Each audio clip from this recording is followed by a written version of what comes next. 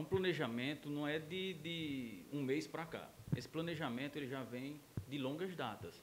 Para se ter uma ideia, é, a gente buscou de todas as formas economizar, fechar as torneiras, procurar é, alinhar os discursos, alinhar a forma de trabalho, né? até porque aqui a gente só faz uma coisa alinhando com os demais secretários, com os demais pastas, saber entrando em consenso para saber se a gente pode dar aquele passo em conjunto.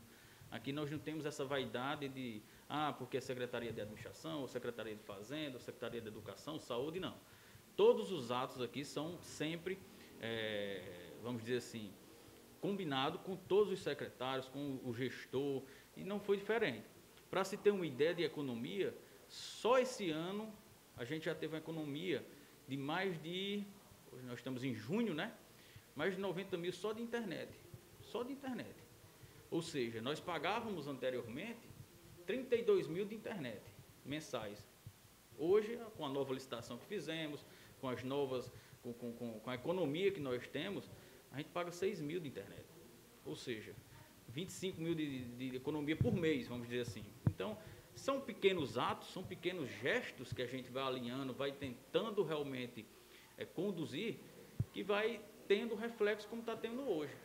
Entendeu? Da mesma forma com o aluguel.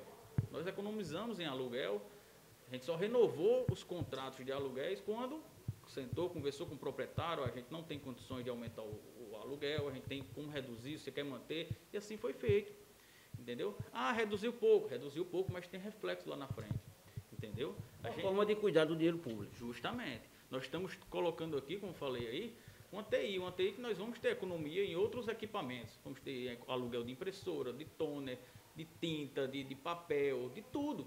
Então, assim, são pequenos gestos, pequenas maneiras de, de, de, de, tratar o dinheiro público que vai tendo reflexo como está tendo agora. Pagando... O senhor também pontuou a questão do sistema de monitoramento em alguns colégios, Sim. quer dizer, que tira um, uma dupla é, carga de, de, trabalho pelo sistema eletrônico. Porque o que é que acontece? O vigia estava lá naquela escola, tinha adicional noturno, tinha a, a dobra, tinha hora extra, tudo isso. Você colocou lá aquelas câmeras, você só tem aquele gasto.